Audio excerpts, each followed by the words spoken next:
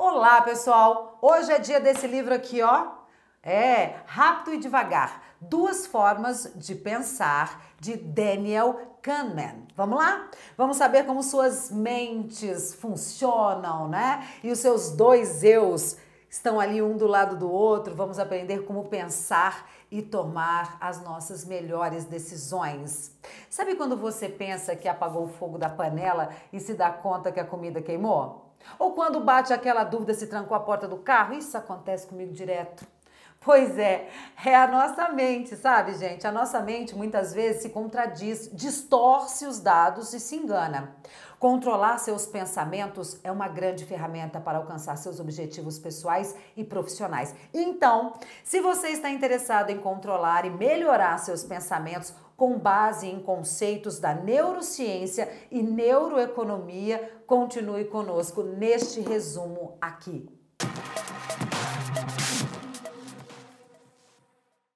O livro Rápido e Devagar, Duas Formas de Pensar, é de 2011 e apresenta uma recapitulação das décadas de estudos e pesquisas que levaram o autor a ganhar o Prêmio Nobel de Economia.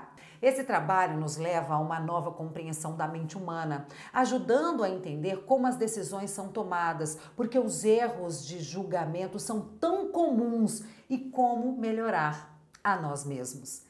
E se você deseja se inteirar, ter essa obra aqui completa, é só você entrar no nosso blog, tem o um link, você pode adquirir tanto assim, ó, em inglês, como também em português. Lá tem o link para você comprar, tá?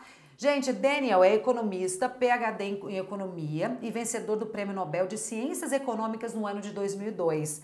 Além disso, é professor emérito da Faculdade de Psicologia de Princeton e foi eleito o sétimo economista mais influente do mundo pela The Economist em 2015. E esse livro, Lili, é indicado para quem? Para mim e para você, tá? Pessoas interessadas no funcionamento das nossas mentes e entender como resolvemos problemas, como fazemos julgamentos e quais são as fraquezas que nossas mentes estão dispostas e predispostas a ceder. Ideias principais. Quando você pensa, sua mente usa dois sistemas cognitivos. As pessoas gostam de transformar histórias simples em realidades complexas. Elas buscam causas em eventos aleatórios, consideram incidentes raros e subestimam suas experiências. A aversão à perda afeta a maneira como você estima o valor e o risco. Seus dois sistemas avaliam suas experiências de vida de maneira diferente. Overview 1, parte 1, vamos lá. Seus dois sistemas e o que cada um faz. Nessa primeira parte, vamos explicar o funcionamento do cérebro para entendermos melhor os nossos pensamentos essa máquina potente, hein? O primeiro é o sistema 1, o qual pode ser definido como o processamento mental que lê as emoções e lida com suas habilidades automáticas, como dirigir seu carro ou somar 2 mais 2. O sistema 1 assume o seu pensamento quando você compreende declarações simples, instintivamente, vira-se para ver de onde vem o ruído ou quando você faz careta ao ver alguma coisa ruim. É aquela coisa mais rápida.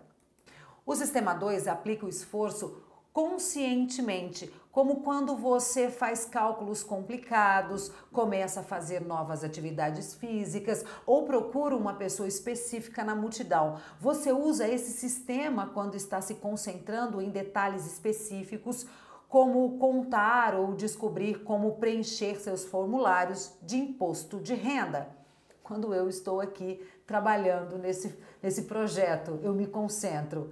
Além disso, o pensamento do sistema 2 é mais lento, mas precisa dele para processos de pensamento como a lógica formal.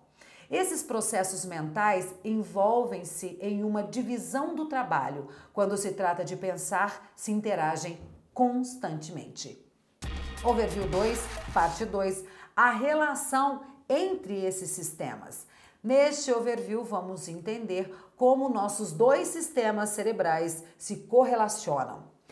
Qual sistema você usa e como você pensa depende muito do esforço que você está empenhando. Se você está fazendo algo fácil, como passar por um caminho conhecido, está usando o sistema 1. Se você acelerar o ritmo, o sistema 2 é ligado para manter seu esforço.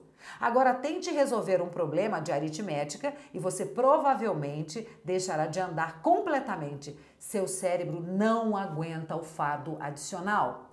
Estudos laboratoriais recentes mostram que a intensa concentração do sistema 2 diminui os níveis de glicose no nosso corpo. É quando a gente está pensando muito que a gente gasta muita energia.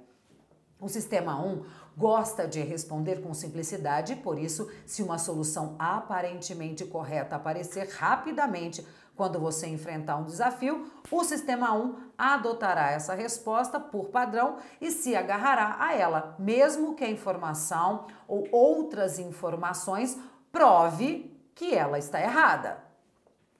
Se você deseja persuadir alguém, você irá recorrer ao sistema 1, que busca informações simples e memoráveis. Por isso, use uma forma em negrito nos seus relatórios, tente rimar os slogans em sua publicidade e torne mais fácil o nome da sua empresa.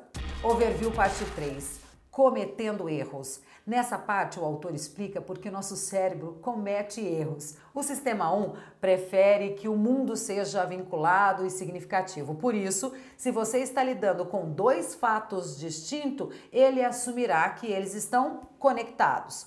Esse sistema procura promover explicações baseadas em causas e efeitos, coisas que você já conhece, que você já viu, que já está ali armazenado. Da mesma forma, quando você observa um pouco de dados, o sistema 1 pressupõe que você tenha a história completa. A tendência, o que você vê, é tudo que existe. É poderosa para realizar seus julgamentos. Por exemplo, se tudo o que você tem é a aparência de alguém, seu sistema 1 preencherá o que você não conhece. Esse é o efeito halo. Entendeu? Vamos de novo. Por exemplo, se você só tem a aparência de alguém, é, o sistema 1 vai fazer o quê? Ele vai preencher o que você não conhece. Ele vai colocar essa aparência que está na sua cabeça e vai preencher fazendo uma imagem. A PNL diz que tudo que eu vejo eu crio uma imagem, o que eu ouço eu crio uma imagem e assim sucessivamente. Dessa forma, se um atleta tiver uma boa aparência, você assumirá que ele também é habilidoso você liga uma coisa à outra. O sistema 1 também é responsável pela ancoragem, na qual você inconscientemente vincula seu pensamento em um tópico à informação que encontrou recentemente, mesmo que as duas não tenham nada a ver uma com a outra. Mencionar o número 10 e depois perguntar quantos países africanos pertencem às Nações Unidas, por exemplo, produzirá estimativas mais baixas do que se você mencionasse 65 e fizesse a mesma pergunta. Já o sistema 2 pode ampliar seus erros, porém, ele encontra razões para você continuar acreditando nas respostas e soluções que você gera. É importante ressaltar que o sistema 2 não contradiz o que o sistema 1 apresenta, mas ele é o endossante de como o sistema 1 procura para categorizar seu mundo. Overview, parte 4, realização distorcida e otimismo. Vamos entender agora porque nós distorcemos a realidade. A tendência natural de se concentrar no conteúdo de uma mensagem e não em sua relevância afeta sua capacidade de julgar. As pessoas aproveitam exemplos vividos para moldar seus medos e planos para o futuro.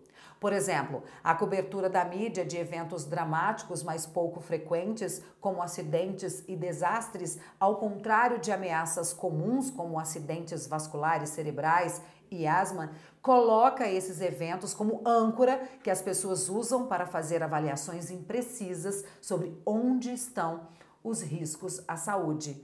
Ficou claro? As pessoas associam isso.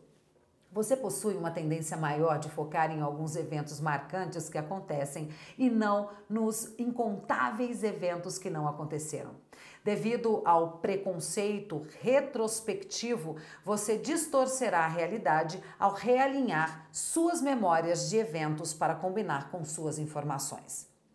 Ao contar histórias sobre eventos em que você está envolvido, você tende a ser excessivamente otimista e predisposto a supervalorizar seus talentos em relação aos outros. É muito comum a gente fazer isso, né? Você também dará ao seu conhecimento um peso maior do que deveria. Esse otimismo intenso e generalizado é útil para a economia de muitas maneiras, porque os empreendedores e inventores tendem a iniciar novos negócios o tempo todo, apesar das enormes probabilidades contra eles. Overview 5, parte 5, especialistas e risco. Aqui, o autor nos alerta sobre a eficiência de se consultar especialistas em algumas áreas. O sistema 1 influencia a franqueza com que as pessoas avaliam sua própria intuição e validade. O que significa que nem todos os especialistas sempre fornecem um grande conselho. A especialização depende da habilidade de um indivíduo, feedback e também da prática. Por exemplo, a prática repetida de bombeiros em pesar os riscos representados por tipos específicos de incêndios e sua experiência em extinguir esses incêndios lhes dá uma habilidade impressionante de ler uma situação intuitivamente e identificar padrões. Você bate o olho, ele bate o olho e fala: opa, isso aqui é perigoso, isso é perigoso. Assim como eu, quando vejo alguém falando em público, falo: opa, aqui ó, fugiu aqui, fugiu ali, ou falando na TV, né? No entanto, não confie demais no julgamento de especialistas em áreas onde os desafios variam muito, onde a sorte determina o sucesso e onde existe uma lacuna muito grande entre a ação e o feedback. Aqueles que preveem valores de estoque e disputas políticas, por exemplo, tendem a se enquadrar nessa categoria. A maioria das pessoas é avessa à perda. Você se importa mais em perder 100 do que em ganhar 150. As pessoas também sofrem com o efeito doação. Quando algo pertence a você, mesmo que seja por um breve período de tempo, você tende a superestimar seu valor em relação ao valor de coisas que você não possui. Os proprietários de imóveis exemplificam esse efeito, muitas vezes supervalorizando suas propriedades. Overview 6, parte 6 Dois eus, uma mente. Para finalizar, o autor nos apresenta quais são nossos dois eus e o que cada um faz. Assim como dois sistemas interagem em sua mente, seus dois eus se dividem de acordo com a qualidade de suas experiências. Um é a parte de você que vive a sua vida e o outro é a parte que avalia as experiências que você tem, extrai lições deles e toma decisões sobre o futuro. As coisas que você presta atenção têm grandes implicações para o seu humor. Formas ativas de lazer, como atividades físicas ou passar tempo com bons amigos, satisfazem muito mais do que o lazer passivo de, por exemplo, assistir televisão. Você não pode necessariamente mudar seu trabalho ou sua disposição, mas pode mudar o seu foco e como você gasta o seu tempo. O foco molda suas autoavaliações. Nada na vida é tão importante quanto você pensa. Olha coisa boa.